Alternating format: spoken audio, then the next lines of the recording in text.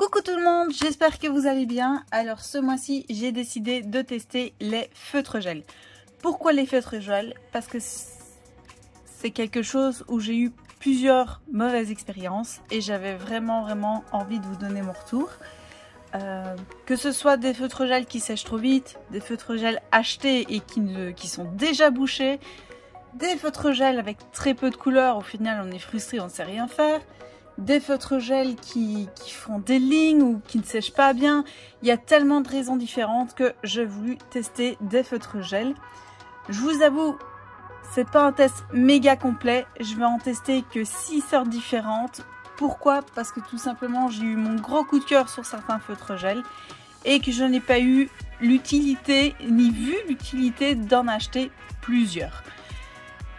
J'ai mon chouchou que je vais vous présenter en premier. Ça a été un, achat de mon compagnon. Pourquoi est-ce qu'il les a achetés? Tout simplement parce que je les avais repérés et j'ai eu un gros coup de cœur par la quantité de couleurs. Je vous les montre, les voici. Donc il y en a 100 différents, que ça pastel, néon, classique, métallique, euh, glitter. Euh, il y a vraiment mais plein, plein, plein de différents. J'en ai même qui changent de couleur au fur et à mesure où on écrit. Donc c'est vraiment, vraiment, vraiment super pratique. Seul inconvénient, c'est qu'une fois qu'il y en a un qui est vide, on ne sait pas les acheter individuellement. Ça, c'est le très gros inconvénient de ceux-là. Je vais les tester après. De ceux-là, avant, j'ai eu tout simplement les feutres gel de chez Action. Et les voici. Ça a déjà été un beau petit coup de cœur. Je trouve que c'est un très très bon set de départ. Mais pareil, il y en a un qui va plus, il faut racheter tout le set. Donc c'est vraiment vraiment embêtant. Et avant ça, j'ai eu une multitude de d'essais, on va dire. J'ai commencé, mes tout tout premiers, ça a été les feutres métalliques. D'ailleurs, vous allez voir que j'en ai que par deux. J'ai pas été plus loin. Euh, ils fonctionnent vraiment très très bien. On les garde très longtemps. Mais on va les tester après pour voir un petit peu leur tenue. Ensuite, j'ai donné leur chance au feutre Sakura. Euh, vous connaissez certainement la marque japonaise. Euh, ici, ce sont les Glaze. Donc, ce sont des feutres un peu, un peu spéciaux. Euh, il donne un peu une matière 3D sur le papier. Donc c'est super intéressant pour avoir une texture sur le papier. C'est mes deux chouchous par rapport aux couleurs de glaze. Euh, et j'ai les Jelly Roll. Alors pour voir qu'il y a deux... Je sais pas si vous voyez à la caméra. Ça, ce sont les vieux. Je crois que ça fait bien 20 ans que je l'ai, celui-là. Et ça, ce sont les nouveaux. Franchement, au niveau de la texture, il n'y a pas grand-chose qu'à changer. Hein. C'est juste l'emballage qui est différent. Mais ce sont exactement les mêmes feutres, la même série et la même marque. voilà. Vous voyez, ils ne sèchent vraiment pas vite, hein, parce que sinon je ne saurais plus l'utiliser. Je vous cache pas que j'en avais plusieurs et les autres ont effectivement séché. Alors, pour faire ce petit test, j'ai préparé un hérisson remarquez, lors de, ma dernière publication Instagram, j'ai demandé quel était votre animal de compagnie préféré. Et il n'y en a qu'une qui a répondu. Elle m'a répondu l'hérisson. Donc c'est à elle que je fais un air. Donc j'ai fait un hérisson. Voilà. Je vais essayer de tester plusieurs couleurs différentes dessus. Parce que j'ai prévu du papier noir. Mais tout le monde n'écrit pas sur du papier noir. Et j'ai prévu aussi du papier blanc. On va attaquer tout de suite. Euh, je vais faire cette petite zone là. Comme ça, on va voir la différence. Je voulais déjà préparer en blanc. Je ne cache pas, ça m'a pris 3 heures. Non, je plaisante. Hein. on voit qu'il y a pas mal, de, de, petits traits. Mais je pense parce que c'est une grande superficie. En général, quand on fait du feutre gel comme ça, c'est des superficies plus petites. Et je vais tester sur le noir. On va voir ça tout de suite. Hop je ne vous afficherai pas de tout regarder au niveau de la mise en couleur. Je vous accélérerai. Je vous mettrai ça en vitesse rapide. C'est parti.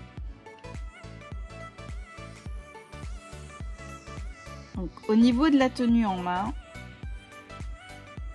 ils sont bien. il glisse pas. Contrairement à ce que je pouvais penser au début, c'est vraiment antidérapant. Donc c'est nickel.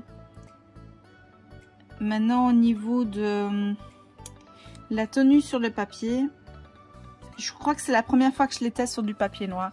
Donc euh, ça va être une grande surprise. Je vais le découvrir avec vous. En général, je dessine sur du blanc, donc euh, je vous cache pas que sur le noir, il a quand même du mal. Ça fait une texture assez bizarre au final.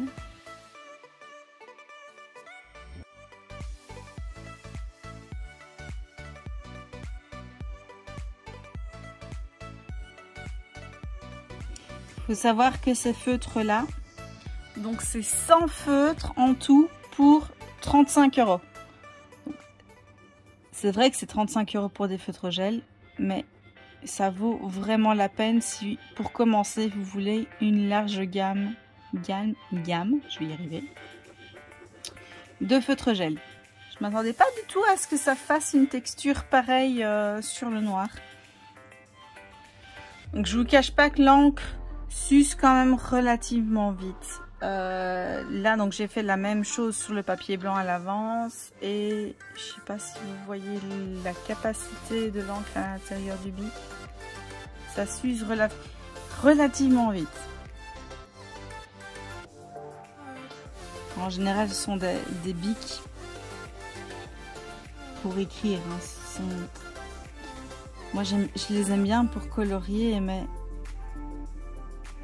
vrai que de parmi tous les sets euh, de feutres gel que, j'ai acheté, c'est celui-là où j'ai trouvé le plus de couleurs différentes. C'est pas négligeable. Hein. Il prend forme, il prend forme. Comme vous, pouvez voir, je vous rapproche, c'est pas opaque. On voit vraiment qu'on voit encore le papier noir en dessous. Euh, donc, en tout cas pour cette couleur-là, je préfère sur papier blanc. En général, je colorie en faisant des petits ronds. Mais euh, ici, j'ai remarqué que ça ne... Bah, ça, ça fonctionnait pas très très bien en fait. Du coup, les, lignes étaient plus, plus appropriées. Mais du coup, on voit un petit peu plus les traits.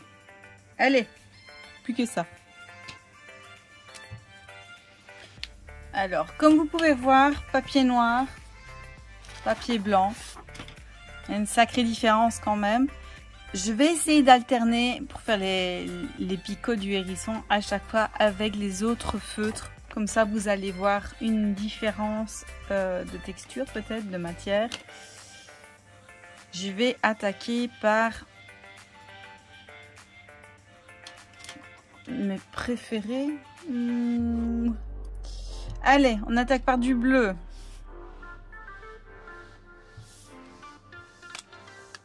Donc là, c'est les fameux métalliques. Au niveau euh, aspect, ce sont ceux qui ont l'air le plus robustes et les moins glissants avec l'antidérapant.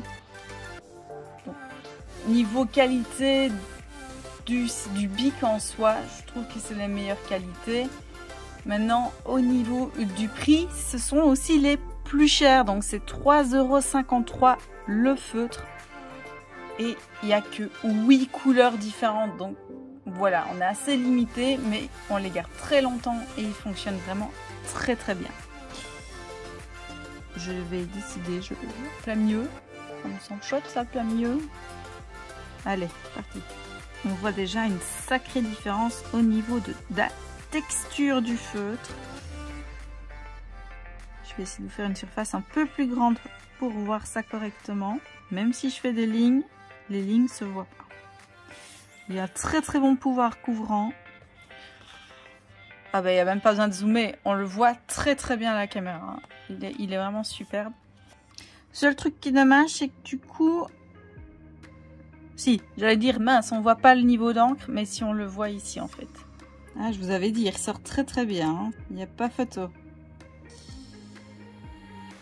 J'ai par contre des petites craintes concernant les Sakura parce que glaze je pense que ça va ça va pas donner grand chose sur du papier noir. On testera, mais je suis sceptique. Dommage, je saurais pas faire tout en, mode métallique comme ça. Ça aurait pu être très très beau. J'ai pas assez de feutres euh, différents pour ça. Voilà, il ressort vraiment très très bien comme je vous avais promis. C'est vraiment incroyable. Maintenant, je vais utiliser le feutre gel de chez Action. C'est vraiment très très bien aussi. Maintenant, ils ont rien d'exceptionnel. Hein. on voit, c'est un feutre pas cher hein, par rapport au précédent. On va essayer de faire cette petite zone-ci. On essaye Bon, pareil que, ce, ceci, le papier soit absorbe trop la matière, donc ce qui fait que le noir ressort. Ou c'est le pouvoir couvrant du feutre qui n'est pas assez fort.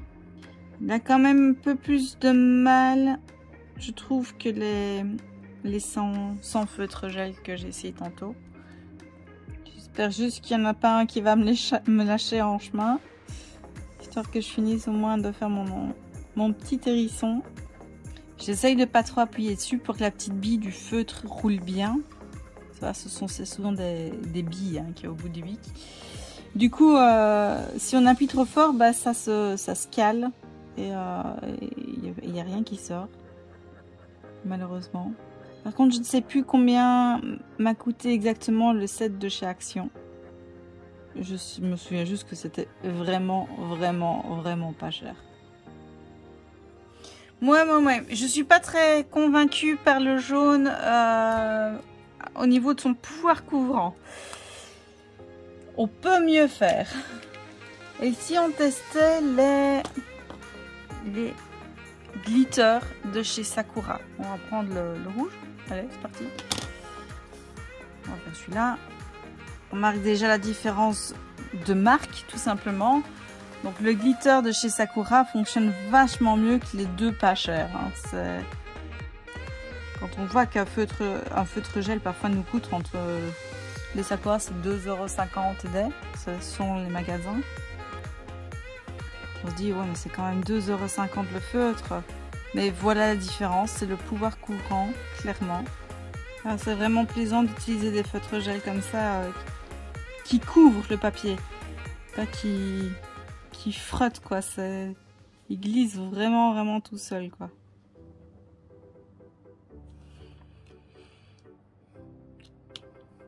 Donc ça, c'était les fameux feutres Jelly Roll de Sakura. Donc ça vaut... C'est vraiment très très chouette. J'ai très peur de tester les glazes sur du papier noir. Mais vraiment, vraiment, très peur. Je ne sais même pas si je vais faire plusieurs euh, points de hérisson avec ce marqueur-là. Parce que je sais très bien ce que ça va donner. On va le faire ici. C'est parti. Il faut savoir que le bleu, ce sont des feutres que si on n'utilise pas, ça sèche au niveau de la pointe. Il suffit juste d'enlever la, petite particule qui se met au-dessus et c'est reparti.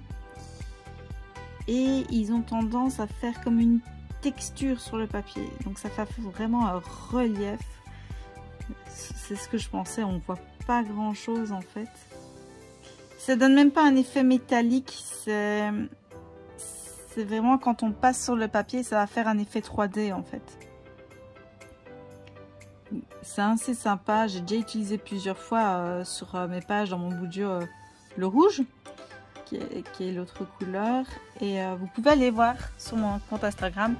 Ça donne vraiment un effet relief. Alors du coup, j'adore faire le sang avec le rouge. C'est vraiment excellent. Je vais juste le finir pour dire deux, mais j'utiliserai même pas le rouge, ça vaut pas la peine. Mis à part utiliser de l'encre pour rien. J'ai bien fait de prendre une aiguille de l'hérisson sans trop d'encre à mettre. Ouais, si on, voit où je suis passée. Et en fait, quand on... Je vais pas le faire maintenant parce que c'est pas sec, mais après, quand on passera, on sentira vraiment le, le. Ça, c'est chouette. faire des petits effets sur le dessin comme ça. du coup, ici, sur le papier noir, ça va faire vraiment un effet brillant et non un effet relief. Mis à part où toucher, à la caméra, vous ne pourrez pas vraiment voir si c'est un relief. Alors cette fois-ci, je retourne du coup sur les premières couleurs et ici j'ai pris un feutre qui changeait de couleur. J'en ai dit, c'est pas le premier que je teste et il faut quand même un certain temps avant que ça change de couleur. Moi je m'attendais à ce que ça change beaucoup plus vite que ça. Et ben non. du coup, euh, j'espère qu'on va avoir un changement de couleur ici. On verra. On voit quand même que plusieurs couleurs se mélangent, effectivement.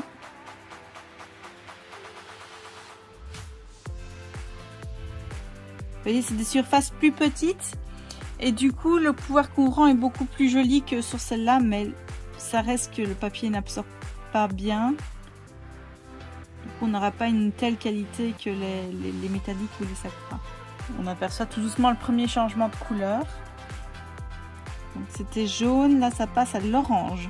Il faut savoir qu'il y a plusieurs couleurs comme ça différentes dans le, dans le set. Je vais essayer de vous rapprocher un petit peu. Vous voyez, on ne voit rien avec le, peu de pouvoir, pouvoir courant que ça. Dommage. Là, le rose rentre doucement en jeu. On voit très très très légèrement. Donc là, c'est jaune, orange, rose. Oui, l'autre a déjà séché par contre. Et on sent déjà la différence de relief. Je m'attendais vraiment à ce que pour ces feutres là, le pouvoir couvrant soit mieux. Je suis un peu déçue sur le coup. Je voulais vraiment vous faire un joli truc pour une fois pas faire simplement des lignes sur une feuille pour tester des feutres, euh, de mettre ça en pratique, mais... Du coup, des, les Sakura Glaze comme ça, je crois qu'il y a une histoire de, 16 couleurs différentes. Et, pour le blanc, bah, j'ai envie de dire, euh, c'est ça qui m'a fait prendre des feutres à la base euh, à gel. C'était pour vraiment avoir un blanc qui ressortait bien. Et au final, le seul truc que j'ai trouvé qui ressort vraiment le mieux, c'est un Posca. Voilà. Vraiment, on sait que ça ressort surtout. Et il existe plusieurs Posca, bien sûr au niveau des pointes. Hein. Il n'y a pas que des gros marqueurs. Euh. Il y a des plus fins, il y a des pinceaux. Donc, euh, à vous de prendre le Posca qui vous est le plus adapté. Pour ceux qui ne connaissent pas les Posca, les Posca en fait ce sont des feutres euh, à peinture. C'est même pas des marqueurs et tout ça, de, de, à eau. Non, c'est vraiment de la peinture. C'est avec ça que j'ai fait tout le hérisson. Ça ressort vraiment beaucoup plus en fait. J'avoue que là les couleurs ça varie beaucoup entre le jaune et le rose. Hein. J'ai pas beaucoup de choix différents. Pourtant il y a du bleu à l'intérieur et du vert. Maintenant, le, vert et le jaune doivent se, confondre, voire peut-être se mélanger. J'essaye de faire des, de ne pas faire des lignes pour pas avoir comme au début vraiment la ligne de jaune et la ligne de rose. Ouh, c'est le premier vrai rose pétant que j'ai. Le, le, rose se voit quand même un petit peu mieux que le jaune. Voilà. On arrive au bout. Vous voyez, ici, on voit vraiment bien que c'est un peu plus rose. On fait... Voilà toutes les couleurs qu'il y avait dedans. On va retourner sur le métallique. Hein. Au moins, c'était fun. Quelle partie est-ce qu'on va faire avec le métallique? On va essayer de pas faire tout le temps les mêmes euh, motifs. Mais j'ai pas vraiment le choix parce que je voulais l'éloigner d'ici. Donc je voulais faire par là. Mais c'est les mêmes motifs à chaque fois. Sniff On va faire celle-là Ouais. Non, je voulais pas faire celle-là. Faut savoir aussi que le glaze ici, après il adhère. Hein. Ça glisse plus. Vous allez voir que le bronze se voit très très bien aussi. Je, pense que le, le bronze est un peu plus vieux. Je l'ai acheté il y a vraiment plus longtemps peu plus séché, oui. Ah, je sais même pas si je vais réussir à, faire tout. On va essayer de mettre un peu la pointe pour humidifier tout ça. Pas sûr que ça fonctionne. Ah, voilà. Hmm, non, pas assez. Oh non Moi qui me réjouissais de réutiliser mon métallique.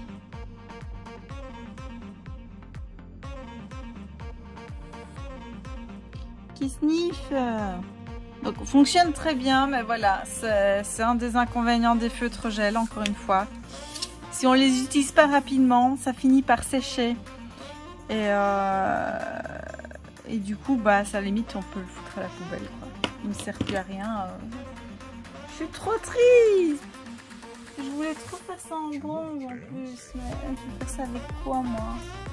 J'ai rien d'autre. Bah non. Ah Bon, c'est pas un feutre gel. rien à voir.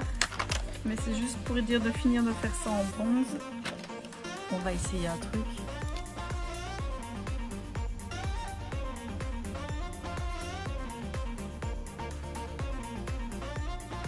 système D. Hein. Du coup, on va pas tenir compte de ce feutre-là.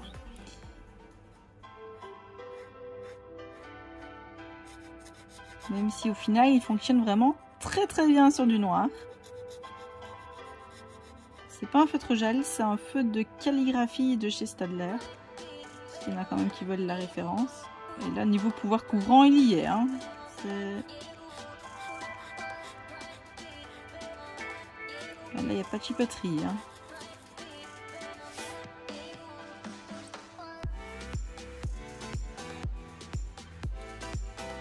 J'avoue que c'est pas facile de faire les coins, sachant que c'est vraiment des feutres bah, du coup, à calligraphie.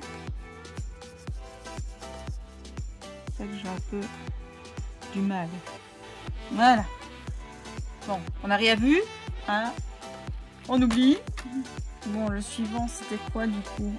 Euh, on passe sur le glitter de chez Sakura. Qu'est-ce qui me restait? Euh, Un bleu. Ce que ça va donner. On va peut-être pas le faire juste à côté. On va le faire peut-être euh, ici en dessous. Décidément, ceux qui se voient pas bien, je les fais tous en dessous. Mais là, c'est pas qu'il se voit pas bien en fait. Je vais vous montrer. bleu sur noir, c'est sûr, ça se voit pas très très bien. Mais on voit quand même euh, une partie. Je sais pas si ça se voit à la caméra. Tout petit peu. Là, le... c'est vraiment un effet pailleté. Mais pailleté, pailleté. Hein. C'est pas métallisé. Donc, quand vous achetez vos feutres chez... à la pièce chez Sakura, petit conseil. Testez-les avant. Mais vraiment, les tester, c'est hyper important. Et regardez aussi le niveau de l'encre. Parce que c'est hyper important. Si vous voyez que le niveau, il est déjà là. C'est très très mauvais signe et ça veut dire que c'est certainement un vieux feutre. L'encre, c'est soit évaporé, soit il a séché. Ça peut être plein de raisons différentes. Mais c'est pour être sûr que vous n'achetiez pas un feutre euh, qui n'aille pas. Et si vous pouvez pas les tester vous-même, demandez au vendeur de le tester pour vous. C'est vraiment important. Est-ce qu'on voit bien l'effet glitter On voit vraiment bien l'effet pailleté. Euh?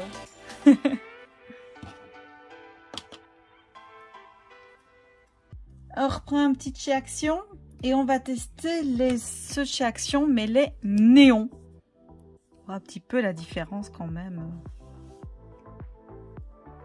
Allez, on va le mettre là. Bah, autant les feutres, ça, fonctionnait bien, mais autant l'aspect métallique, il est plus du tout. Le papier a tout absorbé. Bah, au final, je trouve qu'il fonctionne relativement bien les néons pour le papier noir. Je m'attendais pas à ça. Voilà, ça donne, ça donne bien. Hein. Maintenant, va voir quand ça va sécher. Parce que là, on voit bien le mauve. Euh, parce qu'il est humide. Maintenant, va voir quand il sera vraiment sec. Ah, il commence à plus aller? Non. il y a encore de l'encre. Hein. Vous voyez, c'est une maladie chez les feutres gel. C'est incroyable. Il y en a beaucoup qui n'ont pas compris comment faire des vrais feutres gel.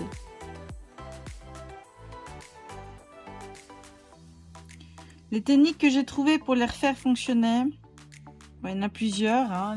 la semelle en caoutchouc, ça marche bien, faire passer la, pointe comme pour un bic. Euh, le chauffer, donc chauffer l'encre pour qu'elle glisse plus vite. Quand je dis chauffer, c'est entre vos mains, hein. mettez pas le bic au micro-ondes ou tout simplement euh, le secouer pour faire descendre l'encre au niveau de, de, la bille en fait. Ben, à mon plus grand malheur, j'arrive tout doucement au bout de, de ce que j'ai à vous montrer. Euh, donc je vais réutiliser des, bah, des, des, des qui sont pas ouf, mais pour finir au moins notre petit hérisson. Qu'est-ce que je pourrais essayer? On va essayer le glitter euh, silver de chez euh, de nouveau Castle Art. Voir un petit peu ce que ça donne. On va le mettre quelque part par ici. A deux glitters à côté. Voilà, on va le là. C'est un silver, mais j'ai l'impression qu'il a l'air plus nacré que silver.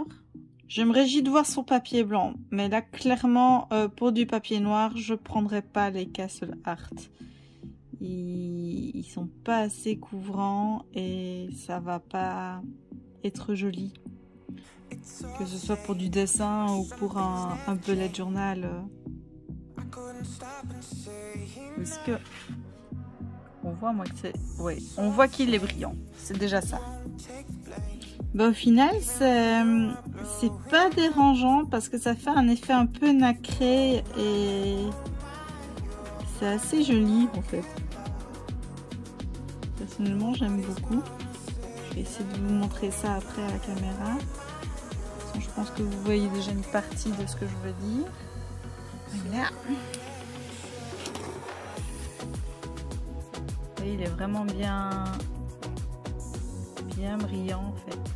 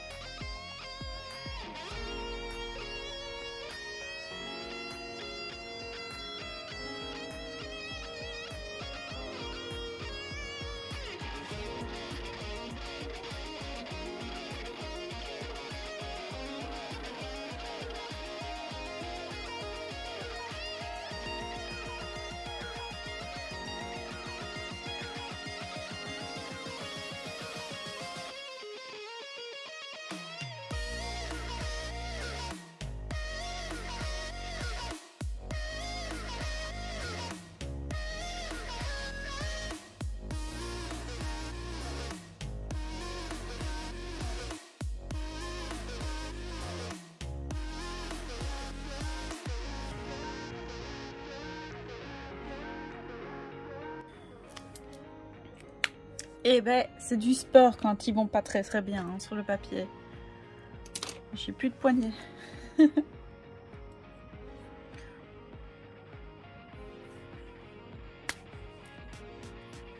Je suis désolée, j'ai pas tout des différents à vous montrer. Donc euh, je vous montre beaucoup la même marque. Euh, c'est juste que pour que vous puissiez vous rendre compte de la, différence de teinte qu'il y a entre un feutre de la même marque et un autre feutre de la même marque. Les glitters, je pensais qu'il y avait au moins une couleur qui allait ressortir, mais, non, en fait. Sur papier noir, en tout cas, on peut vraiment laisser tomber le glitter. À moins que ce soit le but. Hein. Si c'est le but recherché, là, la foncée est clairement allez-y. C'est juste pour avoir des paillettes sur un papier noir. Euh, ça fonctionne nickel. Je vais essayer de vous mettre plus près, mais...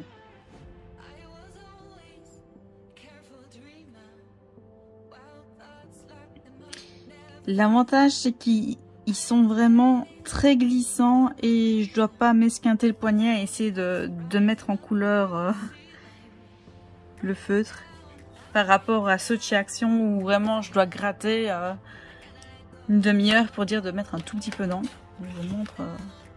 Euh, le glitter est bien là, mais la couleur pas trop.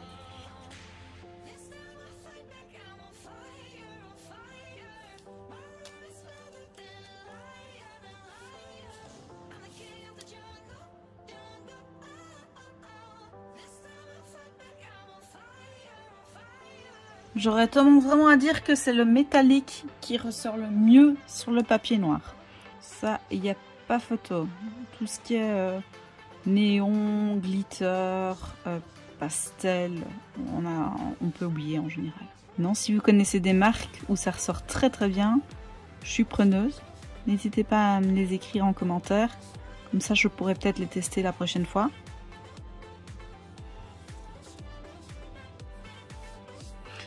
L'inconvénient du glitter, euh, bah, c'est qu'après j'en ai plein la main. On voit pas la caméra, mais j'en ai vraiment plein la main. Je vais essayer de mettre mon papier autrement. waiting.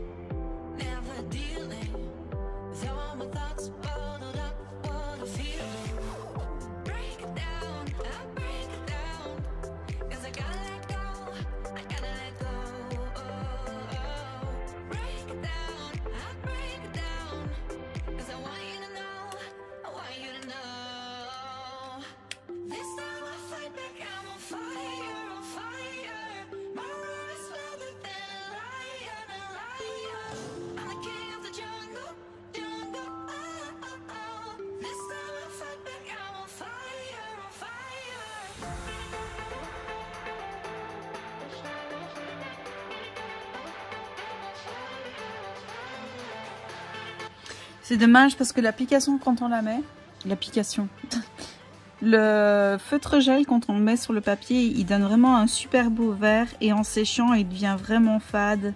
Je trouve qu'il devrait garder sa couleur, c'est dommage.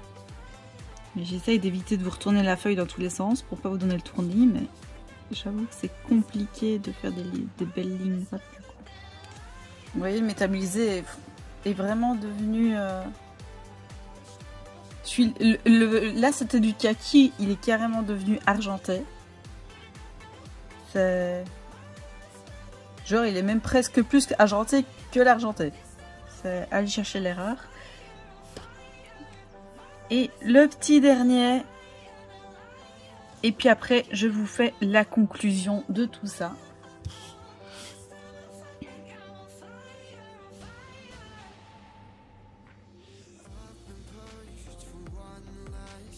Malheureusement, j'ai bien peur que le turquoise, enfin turquoise, je sais même pas si on va plus ça comme ça, euh, fasse la même chose que les autres métallisés, c'est-à-dire bah, blanchir une fois sec. Voilà, clairement. Je trouve ça vraiment dommage. Contrairement aux deux métallisés qu'on a eu au début qui n'ont absolument pas blanchi les feutres métalliques.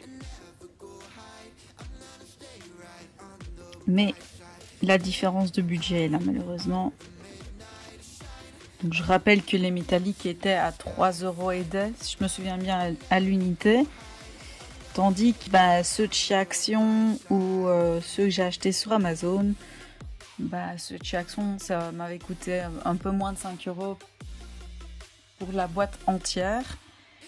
Et ceux sur Amazon étaient à 30 euros pour une histoire de 100 feutres gel. Donc, euh, il n'y a clairement pas photo niveau budget. En tout cas, si vous voulez dessiner avec des feutres gel sur du papier noir, bah, soit vous mettez le prix, euh, soit bah, vous prenez des métalliques. Moi, je vois que si vous voulez vraiment que ce soit uniforme et que ça couvre bien le papier, c'est tout ce que je vois. Il y en a certains qui vont me dire, oui, mais au début de la vidéo, tu parlé de, faire ça sur du papier blanc. Effectivement, je l'ai fait. Je vais pas vous infliger euh, un deuxième hérisson. Hein. Je, l'ai fait à l'avance, sachant qu'un hérisson m'a quand même pris pas mal de temps à faire. Et je vais même vous montrer la différence. Donc voilà sur papier blanc et voilà du coup sur papier noir. Ouh, c'est grand tout ça. Il y a pas photo. Hein. Euh, sur papier blanc, il donne vraiment super bien. Donc je vais vous montrer quand même les spéciaux sur papier blanc, ce que c'est censé faire. on voit clairement que les, les feutres spéciaux avec une texture. Vous voyez pourquoi j'aime bien faire du sang avec? C'est trop bien. Et les glitters bah, font vraiment leur office de pailleté. Donc là, ils sont vraiment bien glitter. Les néons, bah, on les repère très bien aussi. Hein. Euh, il y en a plusieurs. Et les pastels aussi, on les repère très bien. Euh, j'ai réussi à faire une nuance de couleur ici. Donc c'est un seul feutre. Hein. Euh, j'ai plus de néon. Nuance. Je vais y arriver ce soir. Hein. Et j'ai celui-ci. Malheureusement, j'ai eu quasi que du fuchsia. Donc c'est un peu l'inconvénient avec les fameux feutres avec les changements de couleur. C'est qu'on ne sait pas trop combien de temps ça va durer. J'ai eu une mauvaise surprise par rapport au feutre peau que je n'avais jamais utilisé de, de ma vie. Donc c'est un feutre euh, que j'avais pris dans mon fameux set de 100 feutres gel. Donc en faisant les deux mises en couleur là, je sais pas, je vais essayer de vous montrer l'encre qui reste dedans. Voilà, il y a, je sais pas si vous voyez quand même, il reste plus grand chose. Je crois qu'elle est ici. Donc au final, bah ça tient pas très très longtemps, l'air de rien, au niveau capacité d'encre. Maintenant, euh, sur papier blanc, bah, clairement, vous pouvez partir sur du bas prix, sans problème, parce que même les, les métallisés colorés, ben, on voit une différence. Tandis que sur papier noir, bah, si vous avez déjà fait l'expérience, je suis preneuse pour savoir euh, quel feu vous utilisez. Mais j'ai pas réussi à faire vraiment quelque chose de, joli, contrairement au papier blanc ou le, hérisson, ben, je trouve qu'il pète. même avec toutes les couleurs comme ça. Je trouve vraiment qu'il déchire. Donc euh, voilà, je suis impatiente d'avoir vos retours par rapport au feutre gel. Je, précise que je n'ai pas testé tous les feutres gel, donc je reviens principalement avec la majorité de l'hérisson est fait avec seulement les feutres de chez Action et les des feutres achetés sur Amazon. Donc ce sont, je vous la différence. Donc Action, ils sont comme ça et Amazon, ils sont comme ça.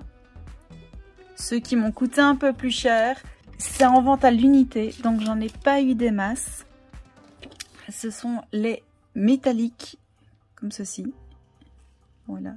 Oui, ils sont un petit peu âgés, mais ils font toujours leur effet. On les garde très longtemps et ils se bouchent assez rarement. Donc, c'est super intéressant. À choisir, si je devais vraiment ne prendre qu'un seul feu métallique, j'irais sur ceux-là. Malheureusement, la gamme de couleurs est assez limitée. Et il y a les Sakura, que voici, donc les Glaze. Ce sont ceux qui ont un aspect humide. Donc là, j'en ai pris deux. Il y a bien évidemment plusieurs couleurs. Les Sakura Jelly Roll. Donc ça, ce sont vraiment tous les... Euh, j'ai eu des métallisés comme ça. Voilà. Donc, pouvoir couvrant pour les deux, je trouve que c'est vraiment pas mal. Et voilà, je remercie tout le monde d'avoir regardé ma vidéo. Je vous fais plein de bisous bisous et j'espère que ce petit test vous aura plu.